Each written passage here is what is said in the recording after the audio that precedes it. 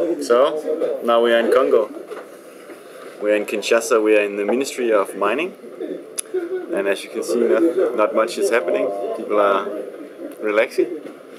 Um, we are waiting for uh, the headmaster of the minister's cabinet to give us an interview. So we're sitting here with all the different kind of minerals. Here you can see cassiterite and coltan.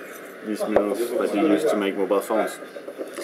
And um, yeah, we've been here for one and a half day now. Yesterday we used all day to get uh, permission from uh, from the TV station to uh, to be able to film.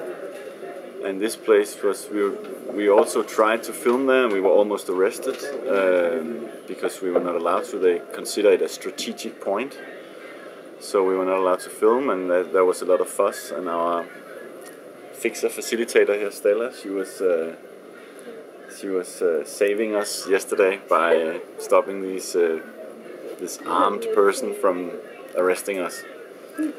And uh, the reason why we wanted to film this, uh, the TV station, is just it was just such an a very good, I mean, image of what is wrong in this country because everything is just it was just this big building kind of falling apart and 18 stories. You have to. We had to go on to the 16th story, but we we had to take the elevator all the way up to the top and then walk down.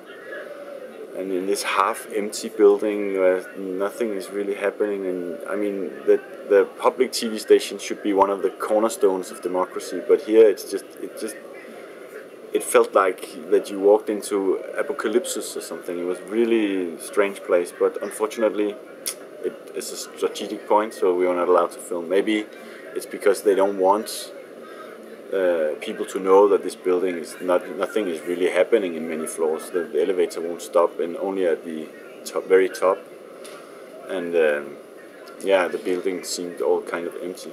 So everything is going very slow, and we are we are waiting. We've been waiting all yesterday. We were waiting for this permission, and now we have the permission to film, but we are still waiting all the time to in order to right now we're waiting for this uh,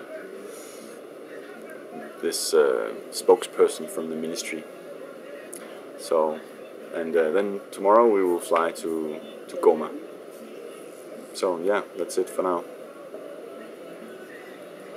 oh one thing maybe you go and see so we see the the the Congo River is over here out the window